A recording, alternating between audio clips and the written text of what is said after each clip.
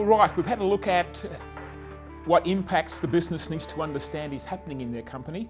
And uh, we talked about that Plant and Equipment Wellness is all about the how to do things, because it's the how to find the one best way that we're looking to achieve. Plant and Equipment Wellness is built around a particular, I guess, business model. And uh, the whole point uh, is to understand what the business has to do to make the machines reliable by making the parts reliable. So this model we use is the stress to process model. Parts stress to business process. What processes do we develop, uh, design, develop and install that will reduce the stress on the parts? When I reduce stress, I naturally get reliability. So my upside down triangle here is all about understanding that we're going to begin at the bottom. Parts, uh, part by part in our equipment, the parts that are at high risk, we're going to find those. We know that the stress is induced from only two ways. One is the distortion caused by poor installation or forces going in the wrong places. The other is by degradation, the bad use of the equipment, the misunderstanding of the correct way to use that machine. So degradation management is an operational issue, distortion management, is an installation and maintenance issue. So right away, we're into a scenario where the two teams are going to work together across the business cycle to deliver low stress parts. We also want our guys to solve the problems. When there's a failure, learn from that, improve the machine. The Japanese say a new machine is in the worst condition it should ever be because when you have a machine, you learn what it needs to be done to it to be a better machine, and you do those things. So we have this configuration, parts stress rolling up to business process. And the whole point up here is to install the how, the one best way to achieve this result. So as I learn what needs to be done, I roll it up into procedures, into documentation, into company policy, into company practices, into company training, and lock it into the system with ACE3Ts, built around the ISO 9001 framework. So wanted to go through this in a, in a bit more detail, just to explain the sense of approaching it that way. If I start at the top and build my business processes without understanding what their outcomes will be, and if the outcomes are meant to be reliability and low maintenance cost and high operation uptime, and I start from the top here, how, how do I know what, what the pathway is? I can build the business process that I think is okay from this level here, and I'll fight you to death to follow my process. But the point is, it's never right.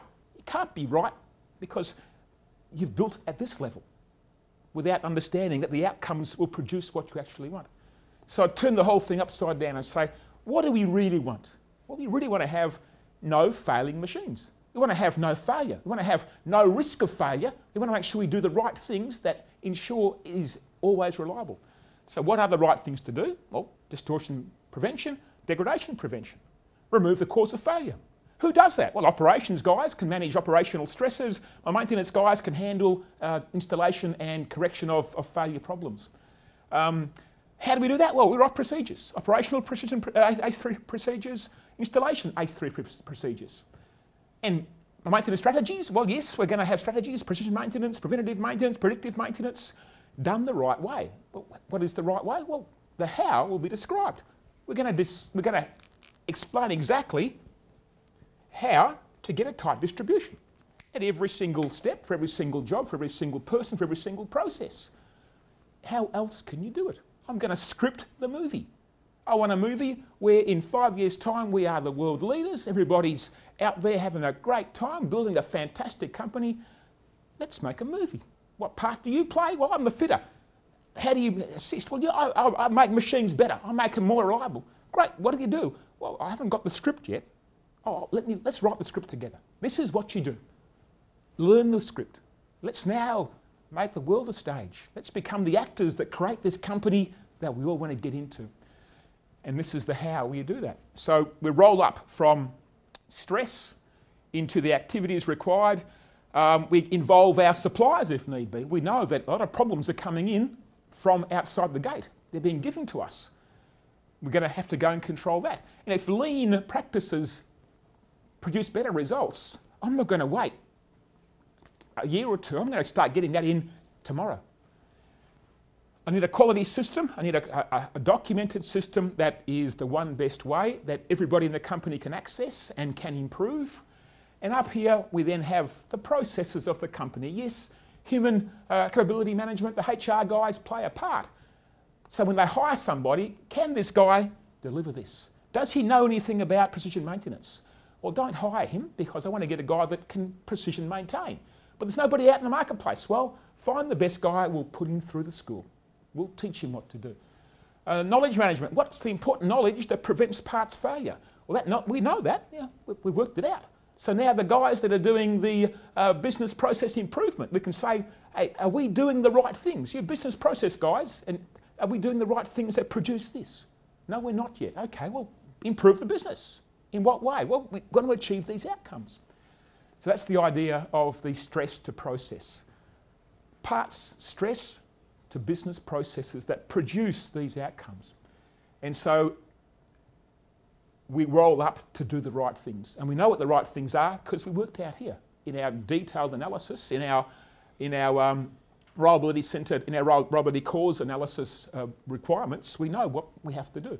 Now I'm going to do those things intentionally, make it part of the business processes and lock them into place with the ACE3Ts.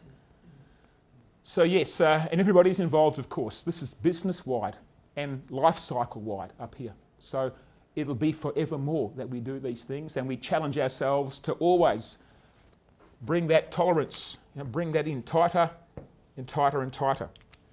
Because as we get better and better and better and hold our quality more accurately, the better the results, the more certain the results will be.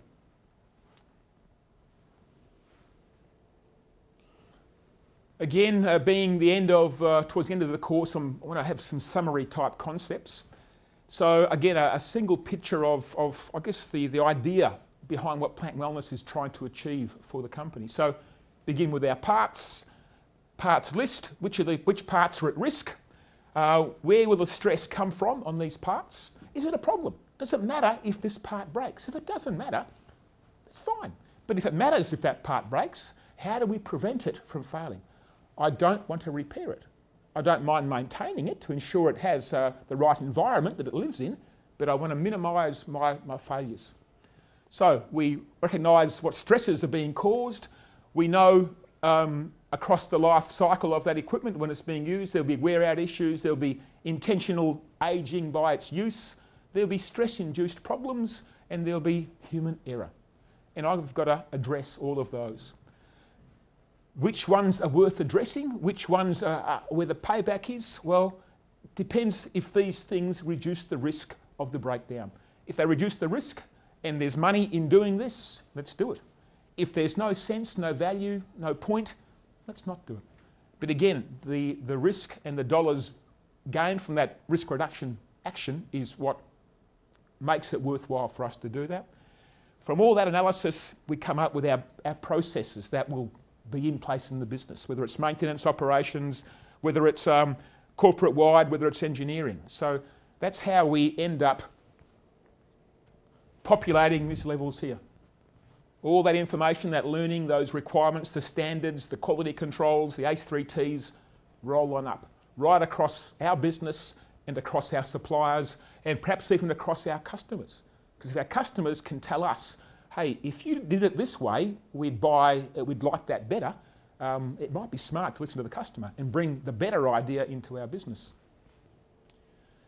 So yes, just a one pager of, of, the concept. Um, in a company that hasn't done this yet, that's a fair bit of work. It's, it's not going to be easy to do. So we don't want to tackle the whole company at once. It's just a mountain. It's beyond us.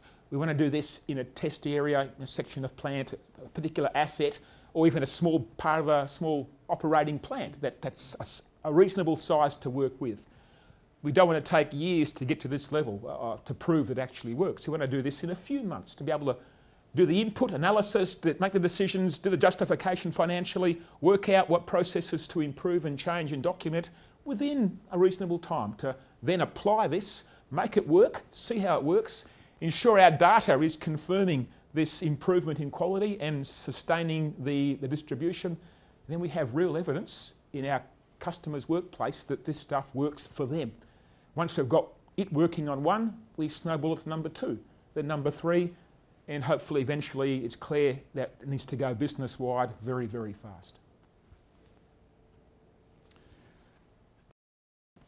Reliability improvement has been around, um, heck, I guess forever, ever since machines were built. We've always been trying to build uh, better machines and make them more reliable. Many models out there of how to go about uh, improving reliability. This is one of them, the, uh, the, the wheel of progress, and it's an eight-step activity. What are the opportunities for, for to improve? So we're looking at failures in, in the historical failures. Which ones do we wish to remove? Uh, pick the opportunities, find the root causes, develop solutions, uh, select the solutions that are going to work, test them in some sort of pilot trial, if it's good, we implement. If it's not good, we go back to here and look at a better solution, uh, implement that and monitor. Get the data to prove the intention is actually being delivered. Nothing magical, all very straightforward stuff. Um, so we're not going to change that intent. We're just perhaps going to say, is it effective? Is this style of approach effective? Because what that leads to is um, additional activities the plant needs to do. Where the plant has its own processes and its own work requirements. We, if we're going to use a reliability improvement process, we then have to gather the data, uh, build off that information into our choices, uh, do the analysis, choose the application, test it, implement it. So we end up having uh, another loop that the plant has to run with. This is what most companies do. They actually introduce this additional uh, reliability improvement loop in their business. And over time, they work this loop and work this loop and work this loop, improving things as they go along. So the model works. It, the trouble that I find is it just takes an awful lot, a lot of time. So yeah, this is uh, another way of seeing that. Here's, here's the rat race, as I call it, you know, the world that we never win in. Always a headless chicken place, uh, and it goes on year after year, breakdown after breakdown. We just can't get over that hump. So we do a change program, uh, an improvement program. Most companies focus on maintenance, thinking maintenance is the answer, um, and they'll do planning, better planning, have a look do condition monitoring, buy thermography cameras, buy vibration analyzers, send guys to training, build a bigger group, um, and of course, find the root cause, which, which we do. We'll find the root cause. Uh, we'll make sure the maintenance is being done because if we don't do the maintenance, the parts will break down. So, yeah, the right things are being done, except yeah, two years go by, three years go by. Eventually, the operation gets better because things are more reliable. Then we can begin analysing things scientifically, but by then it's four or five years down the track, and so the whole thing takes a long, long time. We'll get there. And that's how the guys that were dogs got there today. They, they rolled the wheel of progress until it eventually got on where they wanted to go. But it took a long time. That's the typical approach. Nothing, nothing wrong with it, um, but I reckon there's a better way. You know, I'd be challenging everybody, is there a better way? Because if there's a better way that makes it happen sooner, let's get on with it. Now, of course, I'm going to suggest that the plant equipment wellness thinking and some of the tools uh, might, might be useful having to have a look at. So yeah, um, this is, uh, I guess, uh, again, a one-pager of plant wellness and the concept of not having defects that become problems. We don't want to fix things. We, don't, we want to have things that are always healthy and well and then have no reason to fail. From all that, we get a, a wonderful workplace, a wonderful performance, happy people, a growing business if we're in the right market and our clients want our product, um, and then that transfers into a, blooming business. So if we, if this is the aim, if this is our vision for the future, then we're going to get there very, very fast, not take four, five, six, seven years to get there. Again, our, our previous model um, is, is where the world is. The rat race is, is there, it's, it's around us all the time. The plant wellness program is a different focus. We are looking at what is causing the failure at the very beginning. We're not trying to improve business processes. Now, these guys here are working on their business process, trying to improve the process, hoping that by improving the process, they'll work. They're starting up here, making the changes at this level in the company, hoping Fingers crossed that this is good because that's what they told me to do in the books. Or the, guru came in and said, "Oh, you've got to, yeah, got to improve your planning." So they begin up here, hoping um, it'll produce results. Of course, it does because they learn from their mistakes uh, and, and they'll find the root cause eventually. But I don't want to wait all that long. So we're going to focus on why thing breaks in the first place. We're going to go back to the drawings. Look at the parts in the machine. Where's the stress coming from? Why is this bearing failing in three months? A bearing should last 10 years. Should last, designed to last 10 years trouble free. My bearings aren't lasting 10 years, then I am doing something to them to make them fail. Where's the stress coming from? Operating practices, maintenance practices, bad selection. You know, that bearing, that was made in a, in, in a Bangladesh. You know, they don't have very good steels there. Mm. You mean the supply guy's got a real bargain on this bearing and the bargain was in fact what broke the machine? Yeah, you pay another 10 bucks for that bearing and will last a lot longer. That's a life cycle issue. Now it isn't a maintenance, that bearing's failing because somebody in, product, in, in stores chose a, a low cost bearing made of inferior materials. And maintenance is just repairing the breakdown that keeps coming around because somebody in stores tried to minimise the store's cost and not minimise the business profit. So life cycle and business-wide thinking is vital. I can't have the guys in marketing or stores or, uh, or finance destroy the machines by their choices, which they will do because they don't understand the total system they're working with. This is a business system. What the CEO does up here will destroy the machines down there. Because if he drives the wrong thinking, the wrong actions, thinking it's okay, he'll fail the machines. And he failed them. And my guys just repair them. But he failed them. So the system thinking is vital. So I want to go back to uh, what breaks the machines and human error. Human error is 80% of the problem. How do I stop human error? Well, gee, let's write some procedures of the one best way to do it. Great. I will solve 80% of that 80% of the problem by doing that. Now, if the guy doesn't know, doesn't have the capacity to do the work properly, I have two choices. Either I bring him up to be able to do it, or if he can't do the job, I get him a job that he can do very well and replace him with a guy that can do the requirements of what these tasks uh, um, need us to do. So we're going to upskill our guys to the best practices. We know already from series system property number three and we had our little cloud here. You know, get the best practice in immediately. Don't fiddle about. The best practice is the best because it gives the best results. Why are you waiting? So yeah, in a matter of 12 months, this approach here, you will have the place running ahead. In two years, you'll be leaving the competitors behind. And in three years, well, you'll be so far out that the world's wondering, how can you do that so well, so quickly? because you're focusing on what's important. It's important here. The processes I'm going to change will improve the stress, reduce the stress on my parts, make my people understand and work better. And that's why we work back up the, up the triangle. That's why I've got to start here. I don't know what I need to do. From up here, I just hope the guys understand, which they can never do that. Here, I know exactly what I have to do, and now I build a process to deliver that every single time because I know what the right thing to do is.